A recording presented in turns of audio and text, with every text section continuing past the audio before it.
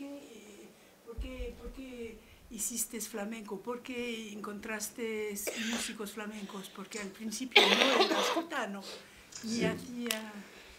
Eh, muchas veces la sociedad, la industria, la sociedad, la cultura, eh, se hace demasiados divisiones entre esto es rock and roll, esto es blues, esto es eh, flamenco, esto es música pop, eh, pero en realidad en el mundo del arte desde dentro las fronteras no son tan definidas.